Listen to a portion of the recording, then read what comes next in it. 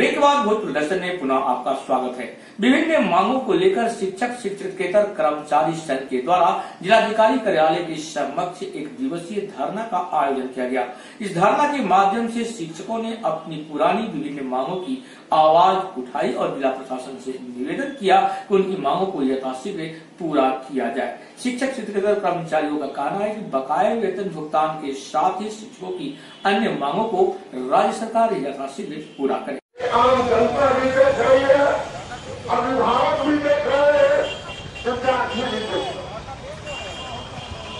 आज बिहार में शिक्षा की यह स्थिति है कि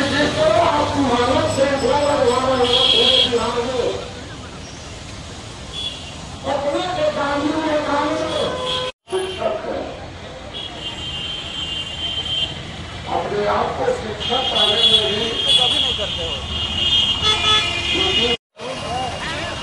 और इनकी वीडियो फोटोग्राफी करा दीजिए और किसी भी ईमानदार विदेशी से पूछिए। है।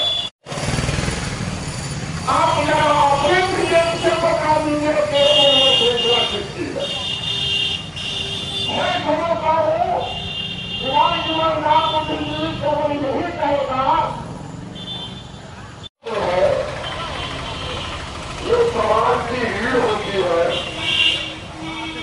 और शिक्षक जो है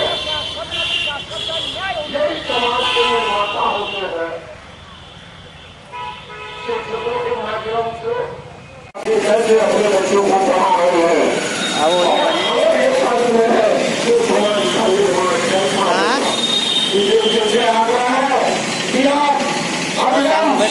ये